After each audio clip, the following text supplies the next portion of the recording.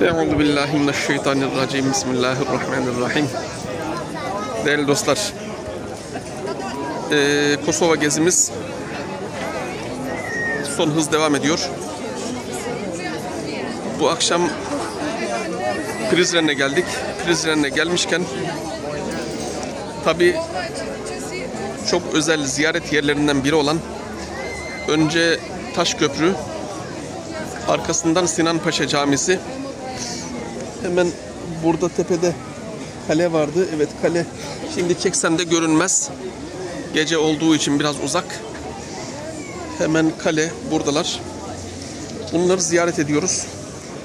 Akşam geldiğimiz için bir de akşam saatlerinde Sinan Paşa Camisi'nin çevresi nasıl oluyor diye bir çekmek istedim, göstermek istedim değerli kardeşlerim. Bunu göstermek istememin bir sebebi de akşam geldim buradaki hareketlilik, buradaki cıvıl cıvıl ortam, burada insanların muhabbeti, buradaki he, o Ankara bölgesine benzeyen o ortam Osmanlı mimarisinin ilikleriniz, iliklerinize kadar hissediliyor ol- oluşu burada bu caminin bu çevreye kattığı bu güzellik gecesiyle gündüzüyle bu, buradaki bu güzel ortam gerçekten görülmeye değer. Priştina'ya gittik. Priştina'da ziyaret edilecek yerler sınırlı. Priştina'da orada en önemli ziyaret yerlerinden bir tanesi Sultan Murat Türbesi. Oraya gittik. Ondan sonra merkezde üç tane yan yana cami var. Fatih Sultan Mehmet Camisi ile birlikte onları da ziyaret ettik. Ondan başka e, ziyaret edilecek yerler fazla değil. Ama Prizren'e geldik hayran kaldık. Gerçekten. Buralar Prizren Camisi'nin yan tarafındaki bu satış yerleri değerli kardeşlerim TİKA tarafından restore edilip buradaki İslam Birliği'nin hizmetine sunulmuş. Buraları buradaki İslam Birliği işletiyor. Bakın değerli kardeşlerim ne kadar güzel bir ortam. Burada suyun kenarında su sesiyle birlikte su sesini hissedebiliyor musunuz? Bakın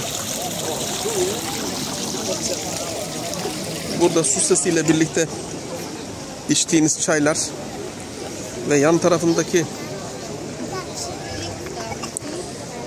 bu hediyelik eşya satılan yerler gerçekten sizi tarihin derinliklerine götürüyor. Osmanlı mimarisi olduğunu iliklerinize kadar hissediyorsunuz burada. Değerli kardeşlerim bakın buraya ziyaret etti geldiğinizde buradan hediyelik eşyalarınızı alabilirsiniz. Buralardan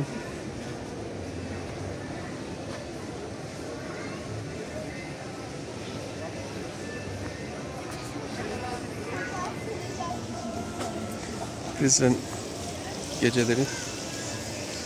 Buralarda bizim TİKA restore ediyor. Değerli kardeşlerim hem de çok güzel restore etmişler. Bakın.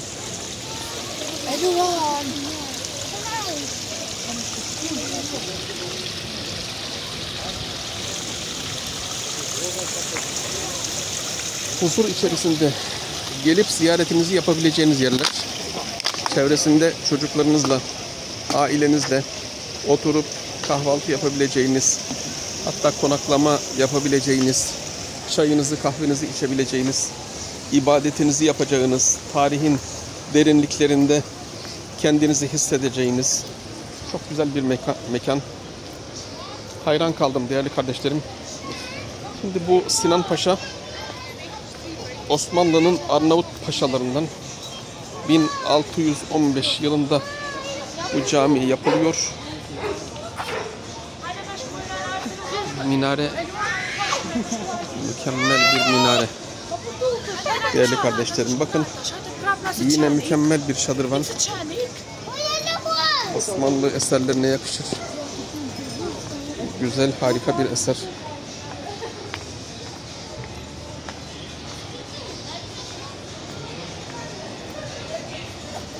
Osmanlı'nın Kosova'daki paşalarından e, Sinan Paşa burayı yaptırıyor. Tabi belirli bir zaman sonra muhakkak restore yapılıyordur buralar. Arkadaşlar. Şimdi bakın. Buranın güzelliği.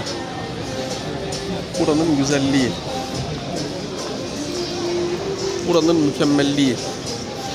Arkadaşların dediğine göre buranın mimarisi ee, Üsküp'te Mustafa Paşa Camisi var. Onun mimarisiyle birbirine ya aynı ya da çok yakın olduğundan dolayı bunlar aynı dönem eserlerden sayılıyor. Bakın.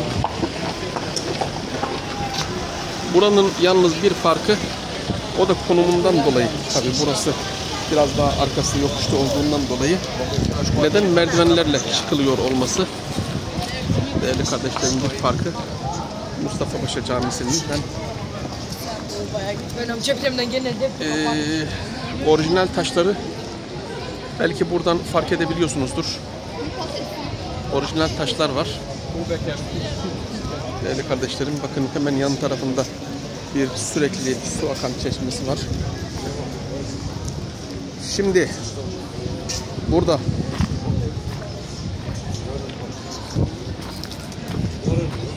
yan tarafta hemen bakın göstereceğim.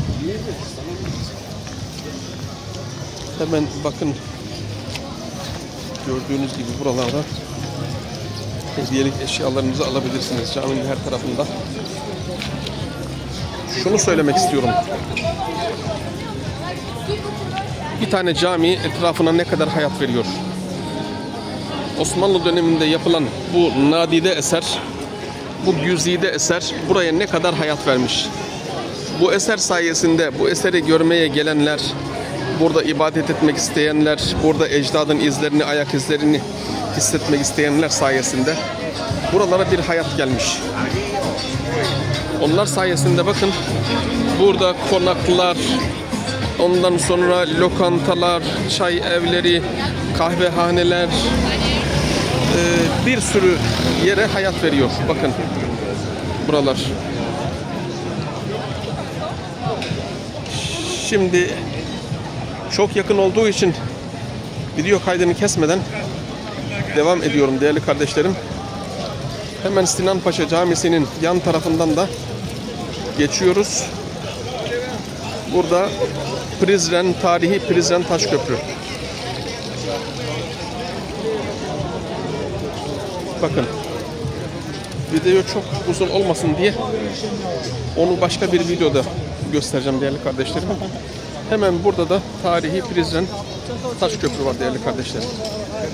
Bakın.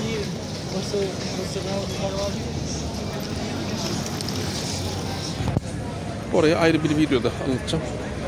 Burada size özellikle göstermek istediğim buradaki çok nadide güzide eserlerden biri olan Sinan Paşa Camisi'nin çevresine kattığı güzellik.